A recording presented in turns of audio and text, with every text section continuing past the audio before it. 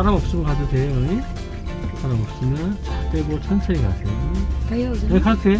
네. 음, 사람 없으면 가도 돼. 약간 오른쪽. 음. 오른쪽. 됐어. 그만 돌려. 이제 좀 더 돌리고. 나눠서 돌려. 좀 더. 알았어요. 그렇지. 내가 진짜 핸들 나눴으라고, 그지? 네. 음. 풀고. 이렇게 잘 들어오네요. 엑셀 밟고. 그지? 나눴으면 잘 들어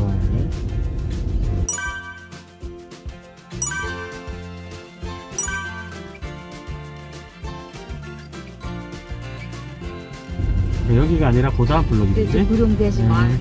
아. 네, 구룡되지 말고 또 음.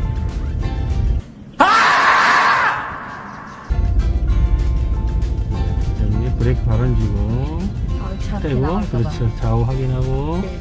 왼쪽 오른쪽 엑스 살짝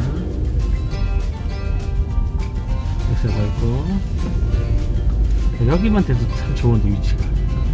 여기 집을 이사를 가 일로 원래 여기 집이. 근데 여기가 더 나아 저기 너무 힘들어 여기 팥이 어마다돼가지고 모았어요.